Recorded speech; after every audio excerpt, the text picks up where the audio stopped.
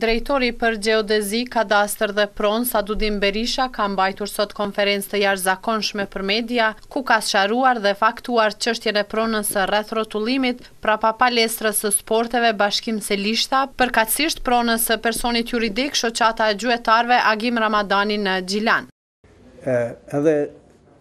në konferencën e fundit të shtypit, drejtoria jonë përmes meje ka dhënë informacionin e plotë dhe gjitha procedurat të cilat i ka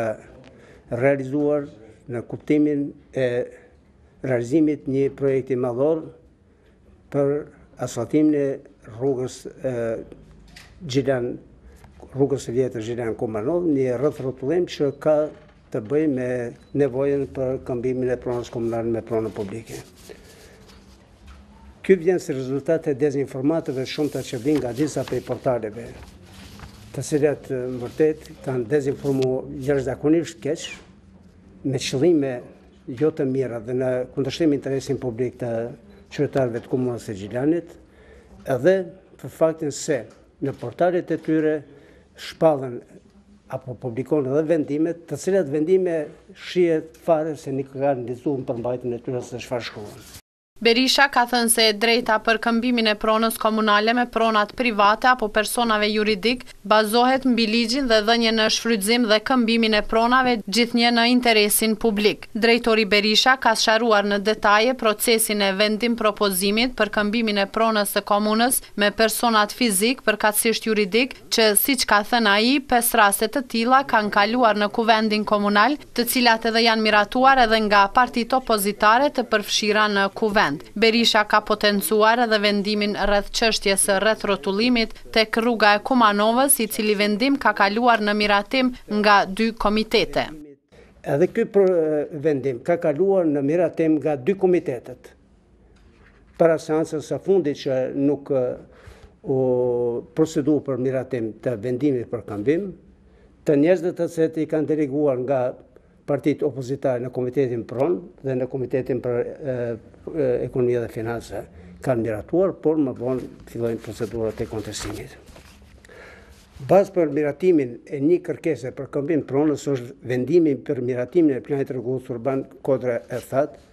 Gjilanit, qytetit Gjilanit, që është miratuar më njëzet e tetë shtator të vitit dy mijë e dhjetë. Gjithashtu, kemi të bëjmë me vendimin mbi miratimin e zgjidhjes urbanistike të strukturës rrugore për një pjesë të planit rregullues urban, Kodra e Thatë, nga ana e djathtë e rrugës Gjilan Kumanovë, e miratuar me shtatëmbëdhjetë korrik të vitit dy mijë e trembëdhjetë, gjen bazën mbi të cilën fillon e fitohet e drejta e këmbimit të pronës, qoftë përmes shpronësimit që bëhet përmes kostos financiare apo mundësisë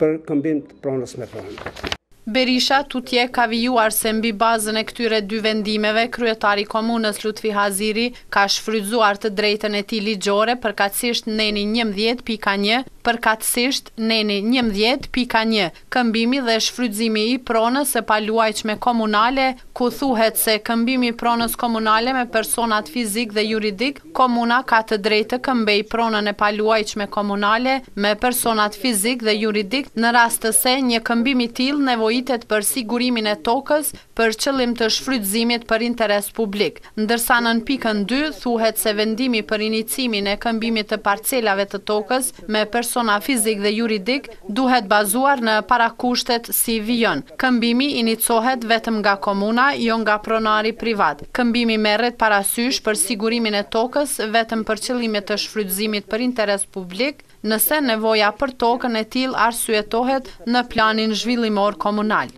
Kryetari i komunës i propozon kuvendit të komunës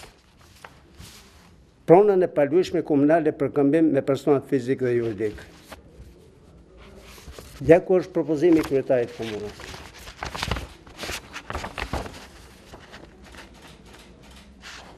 Këto po i them kështu për shkak të opinionit dhe mediave të cilat përcjellin informacionin. Para shpalljes publike të kërkesës për këmbim, komuna duhet të sigurojë një vlerësim të kualifikuar e të pavarur të vlerës së tregut të secilës pronë komunale të planifikuar për këmbim. Që do thotë, pas miratimit të vendimit mbi lejimin e këmbimit të pronës me pronë, pronës komunale me pronën private, në funksion në këtë rast private, jo private, po të një shoqatës gjuetarëve të Komunës së Gjilanit Agim Ramadani me pronën komunale në funksion të realizimit të rrethrrotullimit që parashihet me planin detal rregullues urbanistik bëhet nga një komision, apo një sektori për vlerësimin e pronave që funksionon në kuadër të Ministrisë së Financave. Është organ i pavarur dhe vlerësimin e bën në këtë rast vetëm organi i cili Është i thirrur dhe i licencuar për vlerësimin e pronave. Sipas drejtorit Berisha, procedura e vlerësimit të komisionit do të fillojë tek pas miratimit nga Kuvendi Komunal, më pastaj do të shpallen rezultatet ku do të dihen të dhënat për pronat e këmbyera, si vlera e përafërt e pronës, emri i pronarit privat me të cilin është bërë këmbimi. Cilat prona janë dhënë për mundësinë e këmbimit me pronën komunale, me pronën private, me pronën që është në pronësi të shoqatës së gjatarëve. Komuna e Gjilanit ka ofruar për këmbim lokalin në sipërfaqe prej 204 metrave katror, vendi i quajtur Monopol, lokal afaris, kati përdhes, hyrja numër 3, pron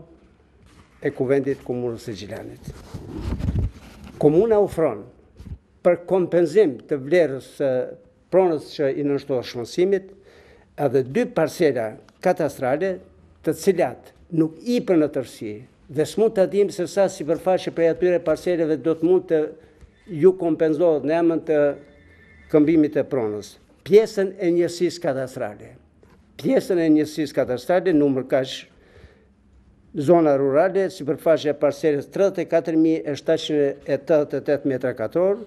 vend i quajtur Zhegra fshat, kullosë, klasë e tretë, pronar Komuna e Gjilanit, dhe pjesën e njësisë kadastrale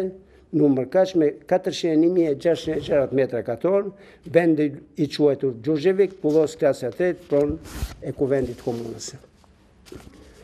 Këmbehen me pronën e paluajtshme të Shoqatës së Gjatarëve Agim Ramadani. Berisha ndërsa ka theksuar se prona që duhet të kompenzohet e që është pronë e personave juridik, Shoqata e Gjuetarëve Agim Ramadani është njësi kadastrale me sipërfaqe prej pesëqind metër katrorë. Dhe komuna për këto ka ofruar atë këmbim për pronën, njësinë kadastrale, parcelë, zonë urbane në sipërfaqe prej pesëqind metrave, vendi i quajtur Monopol. Ish Llovaci, tokë jo